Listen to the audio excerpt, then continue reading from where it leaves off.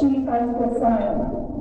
English is my second language, so I never trusted my spelling. So every piece of paper that I write, every letter that I put together, rests to Barbara's hand. So this year, the board decided that we want to keep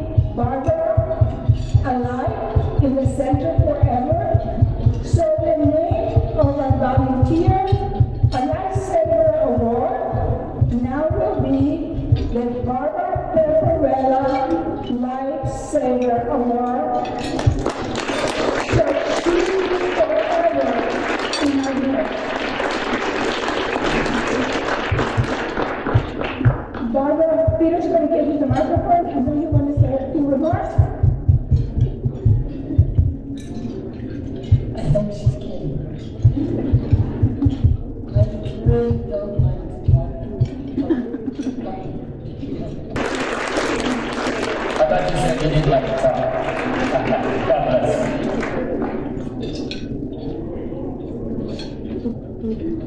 of the Barbara Paparella Award, it's my honor and privilege to announce the recipients of the Rick Doucette Memorial Volunteer of the Year Award and the newly minted Barbara Paparella Lifesaver Award. My name is Jim Heasel, and I'm going to be announcing these uh, recipients. Unlike in previous years, I'm gonna, usually we do one and then we do the other, but this year, because of the folks that are winning them, we're gonna do most of it together, and then I'll present one award and then I'll present the other. I hesitated to do it that way, but because of who they are, uh, everybody I talked to about it said this is the best way to do it. So I need audience participation for just a moment, and I promise it'll be short and easy.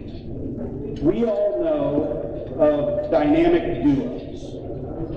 These are people that when you hear one name, you automatically hear the other. For instance, um, so I'm going to say the first name and then you say the corresponding name. If I say Tom, you say Terry. If I say Laverne, Shirley. Starsky and Hutch. Batman and Great. You did it. Thank you for playing along. That's uh, so. This duo, however, um, alongside the likes of Bishop Yonta and John and Terry Herring, are the heart and soul of pro-life San Antonio. And the dynamic duo is Mike Canucky and Patrick Von Roy.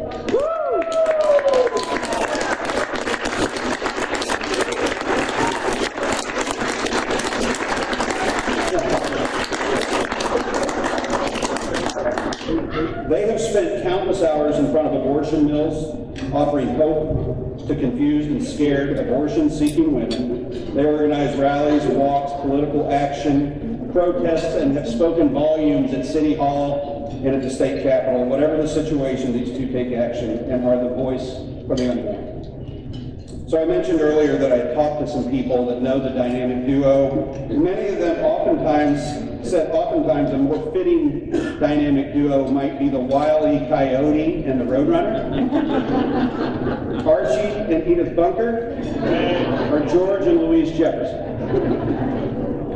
And I believe they might describe each other as their path to sanctification or their prosperity. But they work, they work together and independently like no others. They've been a great example to me, their families, and the community. So there's a gentleman named Vernon Ray who's, who's close to both Patrick and Mike. He said Mike and Patrick are the most heroic guys I know. You don't get what they've got from just showing up and holding a sign. You get it from constantly being beat down and not falling down, but standing strong and coming back even stronger.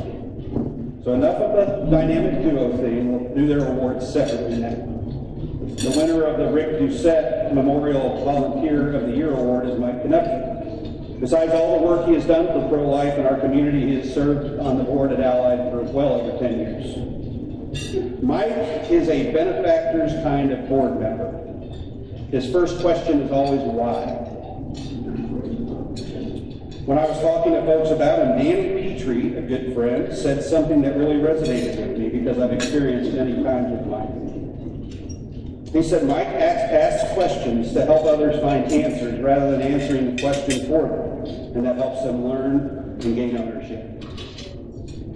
Mike is grounded, he has strong convictions, and doesn't need to go along with popular ideas or thinking if it doesn't match his convictions. He brings a sense of accountability to everything he works on. He pushes back rather than acquiescing, but not out of stubbornness. When he's wrong, he admits it.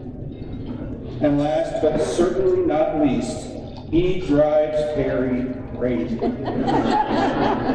now, Mike, she was the first person to mention you to be a recipient of this award. Yep. Mike makes Allied better, period. Please help me honor this year's Volunteer of the Year Award, Mike Hill.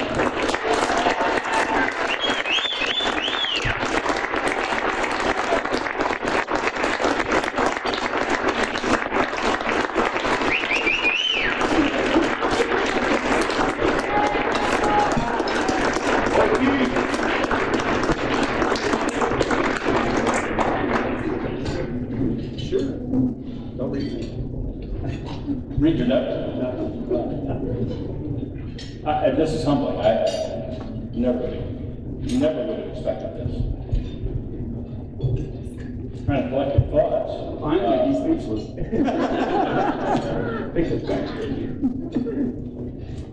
You know, like many of you here, I, I, I'm just a vessel. I'm just a, I'm just a uh, laborer in the vineyard. That's all I am. We have a very loving, benevolent landlord in our Lord Jesus Christ. And when you say you have to go to work for pro-life, I don't see it that way. Many know my story. I have four adopted children. They're not from the United States, they're from Mexico. You can't get them in the United States because they're all aborted. It just comes natural to me, and I'm just very humble. Thank you, Ally. You ran out of people, and I got to the list. Thank you.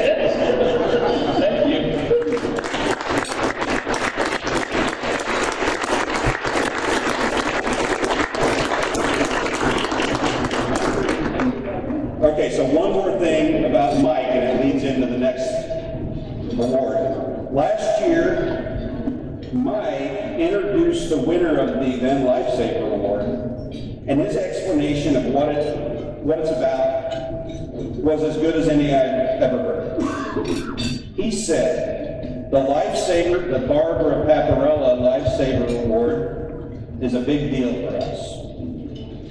The winner of this award is a person who exemplifies an apostolic life dedicated to saving lives relentlessly without counting time or effort or economic ramifications or consideration of any kind. A person in a quest to fight the good fight for our Lord and our neighbor in this bloody battle of saving babies from the clutches of abortion. That, folks, is Patrick Conlon.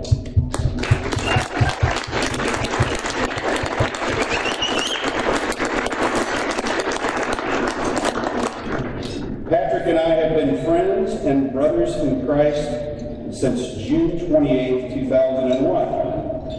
I know that because he sends me a reminder every year. Despite being as manly a man as I ever have known, Patrick has a heart that never stops giving. He is always there whenever and wherever you need him. It's the best godfather my daughter Mary Catherine could have ever asked for. He works tirelessly for the unborn and sets a great example for his kids, Patrick, your kids, and I this. I'd love to call him the next governor of the great state of Texas. He may be too good for that.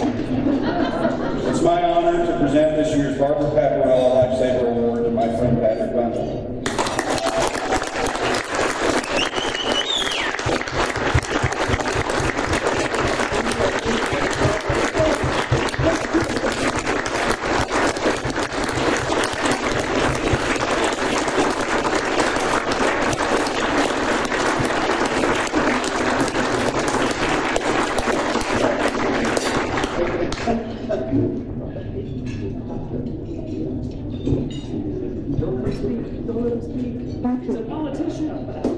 Your daddy's here. Thanks to your husband, I know that. Well, howdy. I got wind that something was awry. And uh, I was excited because my wife asked me not to go to New York to surprise our daughter who's playing volleyball up there. And instead sent our oldest daughter to join her. And then I heard through the grapevine, Johnny Herring, that uh, my dad and my stepmom Pat would be here. Or he's glad they're going to be here. And so, uh, but I was excited because I came here to, to introduce and give this award to Mr. Mike Kanucky. And if you don't know, Mike likes to go around saying that he's like God. He's God-like. And I said, there's a lot of perfection still needed on your part to be claiming that, despite the, the meaning of your name. And because I came here to, intro- to introduce and give this award to Mr. Mike Kanucky, I want to share something about him. Because that's the reason I'm here. That each of you are here because of friendship. How many of you are here because of friendship? Somebody asked to be here? Somebody knows Terry and Johnny Herring? Somebody knows a board member? We are not in this life to be alone. We're in this life to work in the apostolate. Yes, some of us have individual, all of us have individual apostolates. But we also need a group apostolate. And that group apostolate helps fortify you, helps give you strength and encouragement, and helps kick you in the butt sometimes. And that's what we're here to do. And that's why we start organizations like Allied Women's Center. Bishop Johnson needed Terry Herring. Terry Herring needed Bishop Johnson. And when we started the San Antonio Family Association back in 2011, there were four of us that started it. And one right here, I don't want to go without mentioning him, Mr. Danny Beecher right here, uh, Mike Kanucky, and another board member, myself, Jason Cater. We did that to, not to work alone. We did that to work together. Because we realize that iron sharpens iron.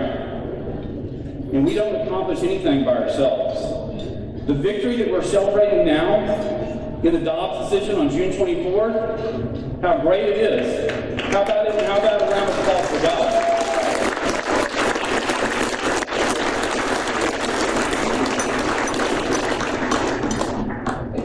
That was, as Mike likes to talk about on the sidewalk, that we uh, were there earlier today. Likes to reiterate, no one person did this. It was a collection of effort, all organized and led by the Holy Spirit. And he didn't have a chance to tell you, but he, he's been talking about the year of the Jubilee. And the year of Jubilee is the 50th year in the Old Testament in which God set the captives free. And thanks be to God, the captives are being set free in the United States of America, going back to the States, and women can be protected in the state of Texas.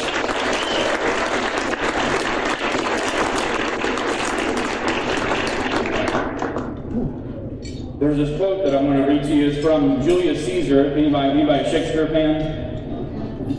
My freshman year in college, my I want to recognize my dad and stepmom, Tim Von Dohlen. If you would raise your hand right there, and Pat Von Dohlen, my dad and stepmom.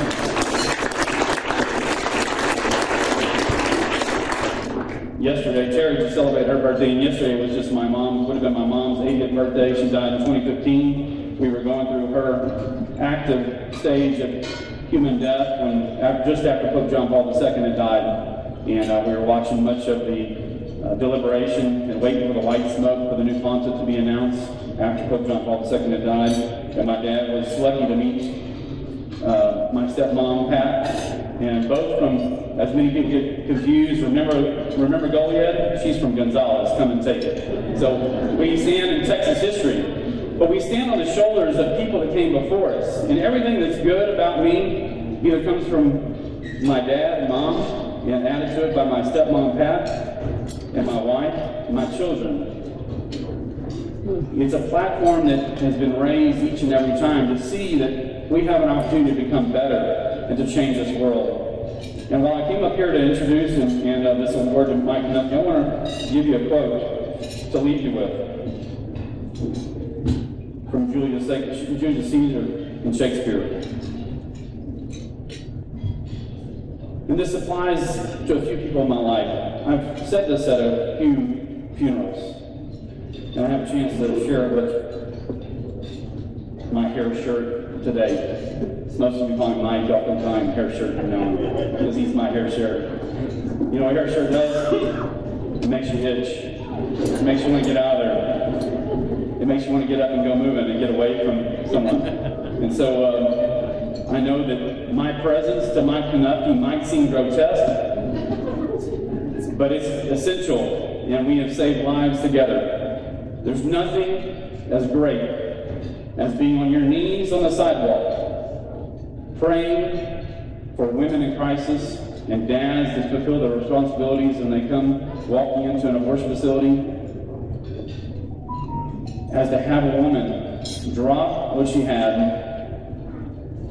and run over to the sidewalk and say, You are what I needed to see today. I'm pregnant. I came here for an abortion. Your presence here has encouraged me to have my child.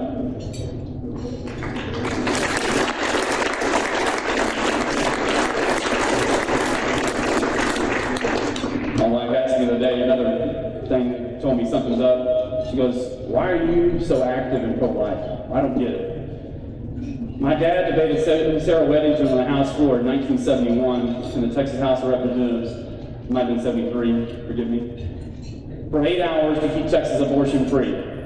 He won the vote in the House and lost the vote in the Senate. But that's that man right there that taught me as soon as I could walk that we were fighting for people's lives, and most notably the people who couldn't speak for themselves. And so when I say that we build on the platform that someone else has given us, we have an opportunity to do that through the Holy Spirit. So I leave you with this.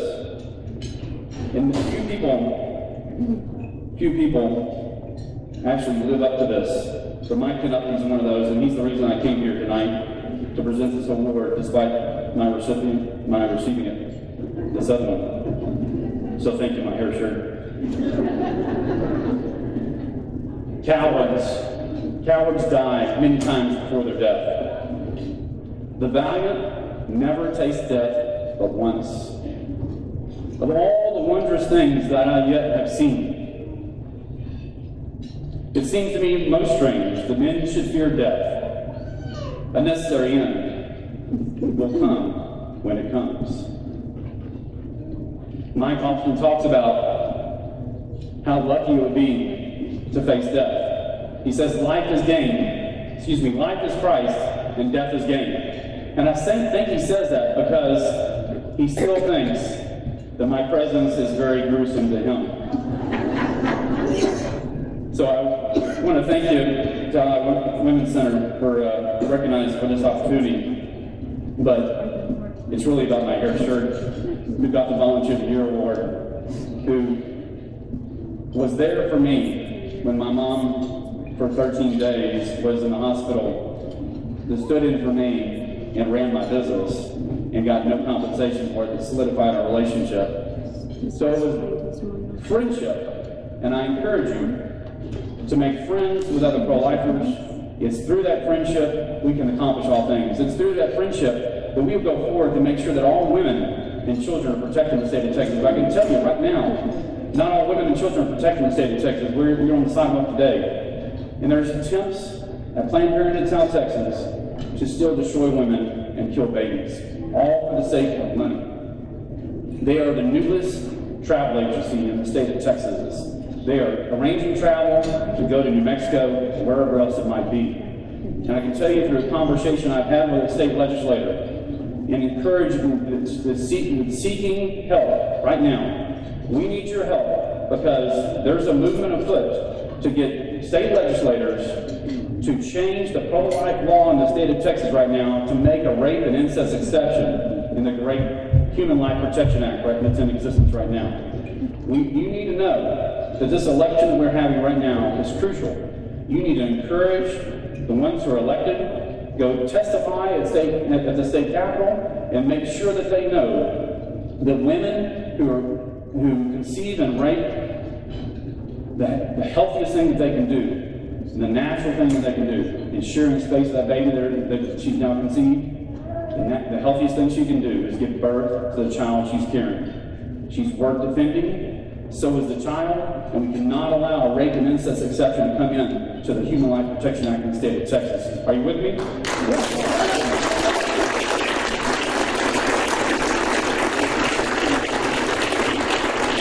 The last thing I tell you is that whoever follows uh, state pro-life law, in Minnesota, they don't call them propositions, they call them proposals. And in Minnesota, there's a proposal called Proposal 3 right now, that's on the ballot in November. If that law is passed, if that proposal is passed, abortion will be legal in all phases of, of gestation in Minnesota. Children will be able to go through gender mutilation without parental notification, and many other bad things are going to happen. There's hundreds of millions of dollars being poured into Minnesota right now to change that law that's pro-life law, mostly pro-life law in the state of Minnesota. Where do you think it's going to go if it passes in Minnesota?